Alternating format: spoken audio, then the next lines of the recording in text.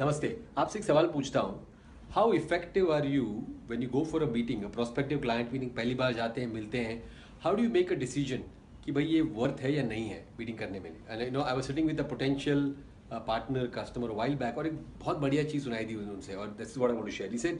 20 minute में decision ले लो कि भाई इनके साथ चाय पीना है या इनके साथ धंधा करना है और जो भी होगा, वो क्लियर रहे आपके बिहेवियरल पैटर्न में। इफ़ यू से भाई इनके साथ अच्छा everybody that you meet is good right but you decide okay just to keep in touch चाय पीने वाला आदमी है या इसके साथ धंधा करना है decision you got to make because you know once you decide that internal you are focused you know कि भाई which direction should this really go you know don't try to convert a चाय पीने वाला दोस्त को, चाय पीने वाले पोटेंशियल कैंडिडेट को to become a business owner and become a potential client I am sorry और अ पोटेंशियल क्लाइंट उनके साथ सिर्फ़ चाय वाय की बातें करते रहे। Understand the difference use it rightly